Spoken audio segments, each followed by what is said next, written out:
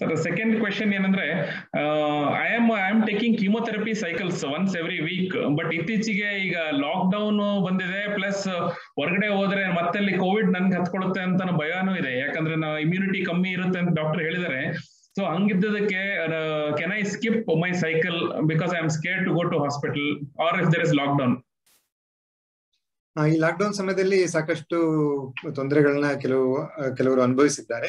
ಹಾಗೂ ಈಗ ಸಂಪೂರ್ಣವಾಗಿ ಕೀಮೋಥೆರಪಿ ತಗೊಳ್ತಾ ಇರ್ತಕ್ಕಂತಹ ಪೇಷಂಟ್ಸ್ ಅಥವಾ ಡೈಲಿ ರೇಡಿಯೋಥೆರಪಿ ತಗೊಳ್ತಕ್ಕಂಥ ಪೇಷಂಟ್ಸ್ಗೆ ಸಾಮಾನ್ಯವಾಗಿ ಬರ್ತಕ್ಕಂತಹ ಪ್ರಶ್ನೆ.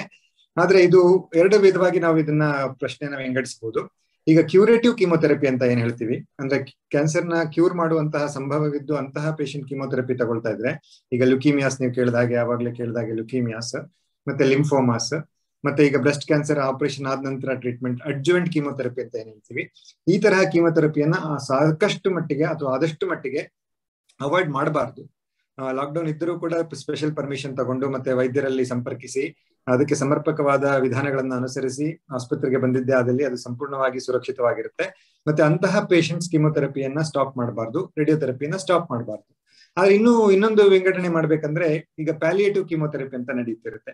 ಈಗ ಸ್ಟೇಜ್ ಫೋರ್ಸ್ ಲಿ ಅವ್ರನ್ನ, ಅವರ ಸಿಂಪ್ಟಮ್ಸ್ನ ಉಪಶಮನ ಮಾಡ್ಲಿಕ್ಕೆ ಮತ್ತೆ ಅವರ ಕ್ವಾಲಿಟಿ ಆಫ್ ಲೈಫ್ನ ಬೆಟರ್ ಮಾಡ್ಲಿಕ್ಕೆ ಕೀಮೋಥೆರಪಿ ಅಂತ ಏನಿರುತ್ತೆ.